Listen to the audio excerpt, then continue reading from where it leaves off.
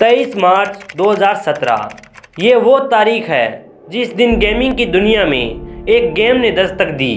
वो गेम था PUBG, player unknown battlegrounds इस गेम ने आते ही अपना एक अलग ही इतिहास लिखा।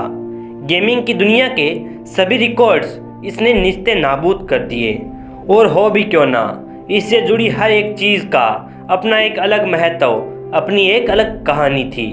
अब तक ना जाने कितने बैटल ग्राउंड्स गेम आए और गए। लेकिन ये सबसे हटके था और ये एक गेम नहीं था गेमिंग के चाहने वालों का इमोशन था। लेकिन पबजी से जुड़ी बहुत सी बातें ऐसी है जो आपको पता नहीं होगी। तो आज के इस एपिसोड में हम पबजी से जुड़ी कुछ ऐसी ही बातों के बारे में जानेंगे।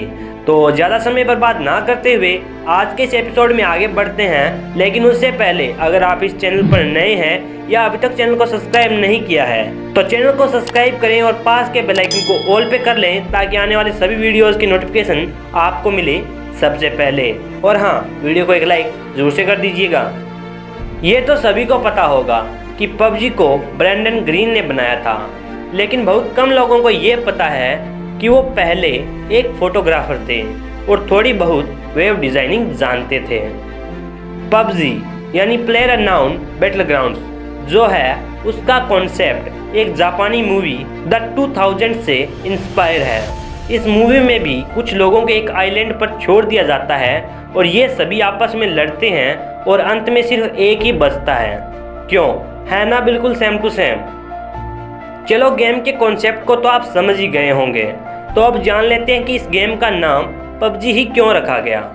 दरअसल इस गेम के पापा, यानी कि ब्रैंडन ग्रीन जिन्होंने इस गेम को बनाया वे इसे बनाने से पहले आर्मा टू नाम का एक गेम बहुत खेला करते थे।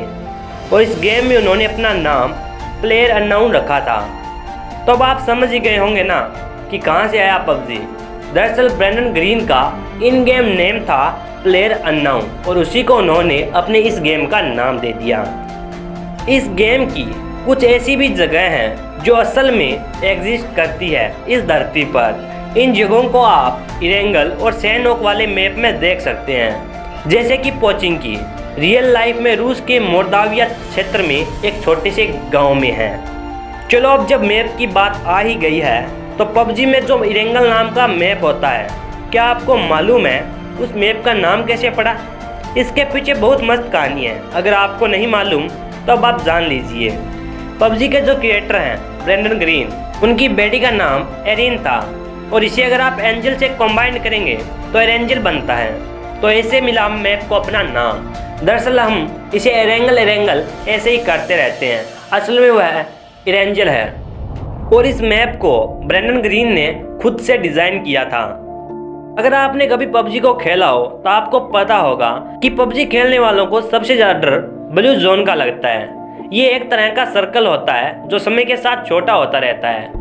और प्लेयर्स को इस सर्कल के अंदर ही रहना होता है। बाहर रहने पे सर्कल काटता है, यानी कि उनकी हेल्थ कम होती जाती है और एंड में वो मर जाते हैं। और गेम में ज़्यादातर लोग इससे ही मरते हैं। पबजी में ब्लू जोन का जो आइडिया है, दरअसल वो सोवियत संघ की सेना से लिया गया है।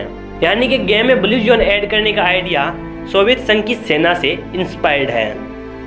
ये तो सभी को पता ही होगा कि पबजी जो है, उसे जीतने के बाद विनर विनर चिकन डिनर का रिवॉर्ड मिलता है। यानी कि एक टैगलाइन आती है विनर विनर चिकन डिनर लेकिन क्या आपको पता है कि असल में विनर विनर चिकन डिनर है क्या? अगर आपको पता नहीं है तो मैं आपको बता देता हूँ कि दरअसल 19वीं शताब्दी में जुए का एक खेल खेला जाता था और इस गेम में जब कोई ज़्यादा पैसे बटोर लेता था, यानी यूँ कहे जीत जाता था तो बाकी के लोग विनर विनर चिकन डिनर कहते थे।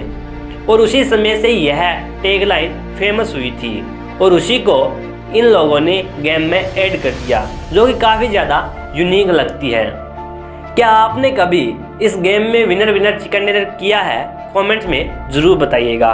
तो आज के इस एपिसोड में बस इतना ही। आज के इस एपिसोड में मैंने आपसे पबजी से जुड़ी बहुत सी अनसुनी बातों को शेयर किया है। जिनके बारे में शायद आपको पता नहीं होगा, अगर पता था तो कमेंट्स में ज़रूर बताइएगा कि वो कौन सी बात है। और अभी बहुत कुछ है जो बताना बाकी है। तो अगर आप चाहते हैं मैं इस वीडियो का नेक्स्ट पार्ट बनाऊँ तो कमेंट्स ज़रूर कीजिएगा।